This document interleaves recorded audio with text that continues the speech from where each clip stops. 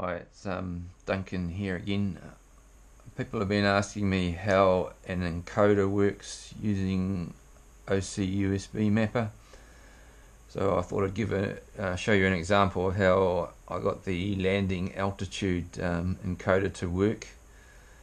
So for this example, I've um, I've just got a, a USB card connected to a Mastercard, and off that just got one inputs card. Now I've connected up an encoder to it. Um, the black wire is going to ground. The white wire is going to position 0 and the red wire is going to position 1. So as you can see I've got the data ref tool up and this is position 0 and this is position 1. Now as I turn the encoder slowly to the right it becomes 1 0 then it becomes 1 1 then it becomes 0 1 and then it comes back to 0 0 so there's actually four states. Now if I move it left it goes from 0 0 to 0 1 to 1 1 to 1 0 and back to 0 so what I've tried to do here is write out the four states. So when we're going clockwise you had 0 0 in binary which is equal to 0 in decimal, 1 0 which is equal to 2 in decimal, 1 1 which is equal to 3 in decimal and 0 1 which is equal to 1 in decimal. So when the values are converted to decimal and they and they and they go from 0 to 2 to 3 to 1 back up to 0 then you know you're moving the encoder clockwise. And likewise for anti-clockwise I've converted the binary values to decimal. So if you're going 0 1 3 2 and back to 0 then you know you're going anti-clockwise. So if, if we just have a look at the um, code here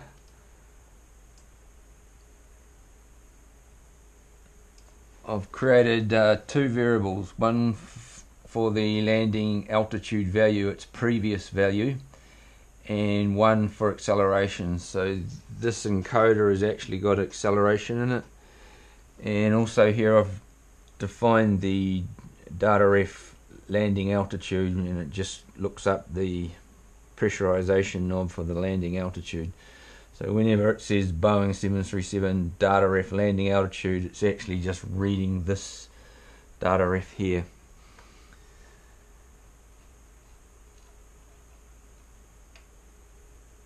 So this is the subroutine processing coders. Now this this gets executed every single frame. So the, the first thing it does is it converts um, position 0 and position 1 from a um, binary number into a hexy into a decimal number. So you know it'll either be 0, 1, 2 or 3. And here what we're doing is we're detecting when it's when something is moving right. If it was previously 0 and it's now changed to 2 or it was 2 and it's gone to 3, or it was 3 and it's gone to 1, or it was 1 and it's gone to 0, then we know it's moving right. And the same for moving left. When it's had a value of 0 and now it's got a value of 1, or 1 and 3, 3 and 2, 2 and 0, then you know it's moving left. So what do we do when it's moving right? We increase the acceleration value which started at 0. So if I move it right once per frame. If, it, if I keep moving right every single frame, the acceleration the first time through on the first frame will be 1, next time it'll be 2, next time it'll be 3.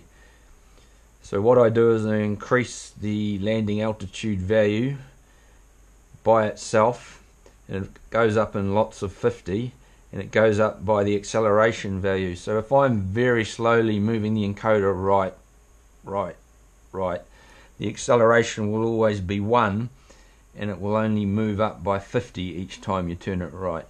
However, if you've been turning it right over the last five frames, the acceleration value will be 5 and it will move up by two, 50 times 5 which is 250 so the landing altitude will jump by 250 so it's it's the same thing when you're moving left um, as, as, as you move left your acceleration is increasing and the landing altitude is going down by the acceleration value.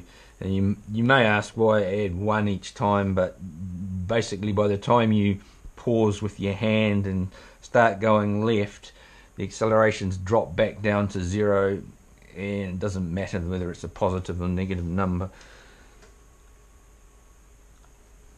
so what actually happens when when you're actually not moving every frame so say the say you'd been moving the encoder right for the last five frames and it got up to a value of five the moment you stop moving the encoder and it's not moving left and it's not moving right the acceleration will go down by one each frame until it reaches zero and then it will stop going down.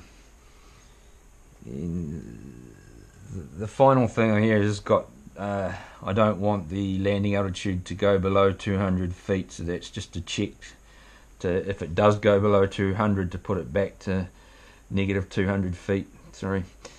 And then the last thing you do is you sign the previous value of the landing altitude to its current value. So so that's how you always got this previous value and that's basically it so I'll just give you an example if you actually look at the landing altitude and I move it slowly right, it just jumps up 300, 350, 3, 400. But if I consistently move the encoder right every frame, you'll notice it jumps up a lot faster.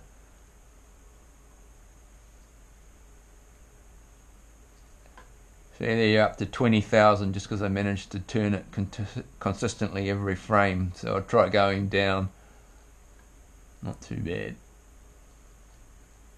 Not very good. Yeah, anyway. So that's how you code it and encoder using USB, sorry, OC USB mapper. And not only is it just going up and down, it's actually got acceleration built into it. Thank you.